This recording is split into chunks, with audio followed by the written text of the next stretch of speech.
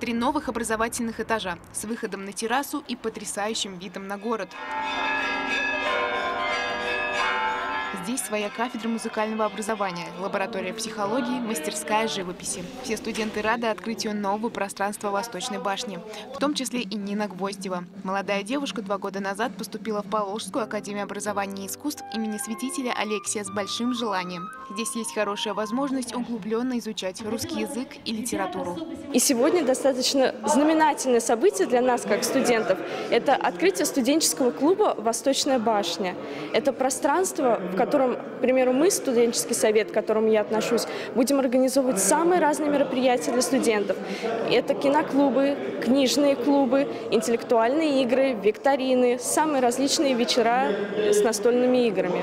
Для нас это очень ожидаемое пространство – вы видели, что на трех этажах располагаются самые разные помещения.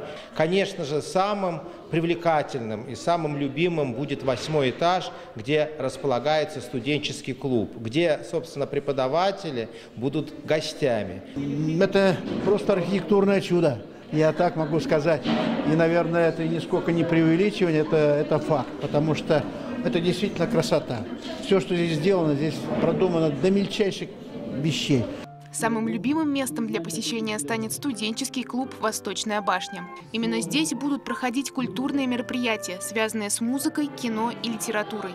Мы все такие разные, но точно здесь объединяет нас одно.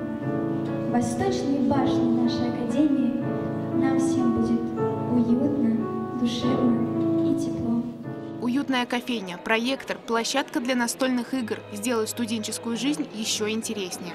А вот это уютное кафе с ароматным кофе и самыми вкусными пирожными. Каждый посетитель студенческого клуба «Восточная башня» может свободное от учебы время отдохнуть в этом красивом, а главное современном месте. Отдельное внимание вот этой телестудии. Зона хромакея, кабинка звукозаписи, комплекс для монтажа программ.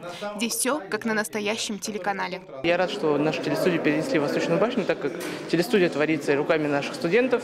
И поэтому очень важно то, что и в студенческом пространстве появилось помещение для нашей телестудии. Приятно, что у нас появился хромакей, который действительно стал полномасштабным, не как ранее. И на самом деле увеличивается наша способности в создании телепроектов. Вот такие места заставляют чувствовать студентов все пространство Академии своим родным. Поэтому огромная благодарность э, ректору Академии, вообще всей администрации Академии, которая действительно организовала такое максимально комфортное, удобное и стильное, что очень важно для молодежи, пространство. Работа над Восточной башней ушла несколько месяцев. Много людей трудились для того, чтобы это место стало одним из самых любимых и популярных среди студентов и гостей Академии.